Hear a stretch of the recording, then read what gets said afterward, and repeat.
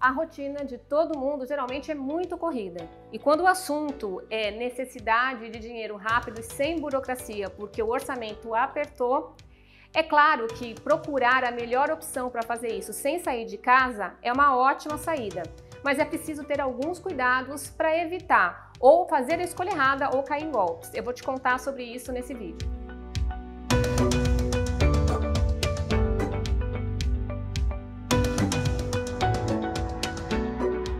Antes de falar sobre esse assunto, eu vou te convidar para se inscrever no nosso canal e deixar o seu like nesse vídeo, se você gostar, é claro, porque ele é muito importante para a gente. Atualmente já é possível fazer uma busca pela internet e conhecer diferentes instituições e bancos que oferecem empréstimo, assim como as modalidades de empréstimos que podem ser oferecidas para você. Conhecendo cada uma delas, a sua escolha e a sua decisão vão ser mais assertivas.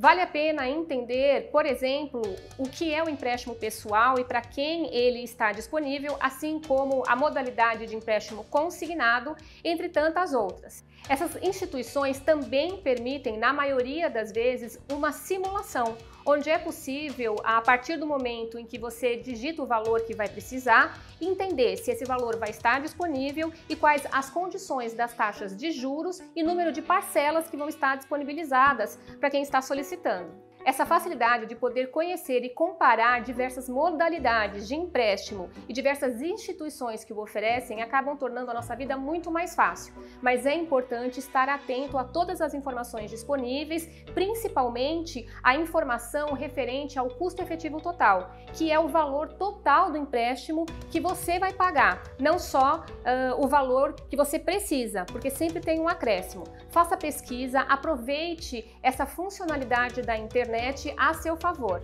Agora, não se esqueça de verificar se o site uh, da instituição é seguro. Isso pode ser feito observando se na parte superior, onde aparece ali o endereço que a gente chama de URL, do lado aparece a imagem de um cadeadinho. Isso, isso significa que esse site é protegido por um sistema de segurança digital.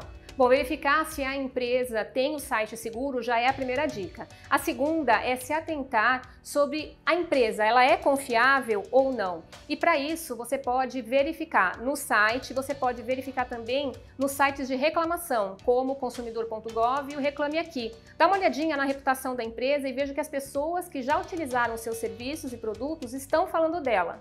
Terceira dica: não faça nenhum tipo de pagamento adiantado para liberação do empréstimo. Isso é fraude e já foi determinado até em matéria na televisão explicando que esse tipo de cobrança é abusiva e caracteriza golpe. Sempre peça acesso ao contrato, leia com calma e preste bastante atenção principalmente sobre as questões onde existem ali as cláusulas né, referentes à falta de pagamento, atraso, taxas de juros e, como eu falei anteriormente, ao custo efetivo total. E o quinto e último cuidado é na hora de você informar os seus dados pessoais.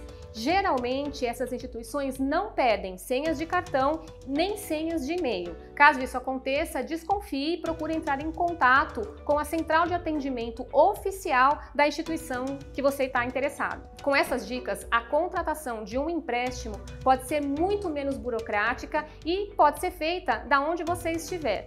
Se você ficou com alguma dúvida referente a esse assunto, pode deixar nos comentários. Eu vou seguir descomplicando os bancos para vocês. Até os próximos vídeos.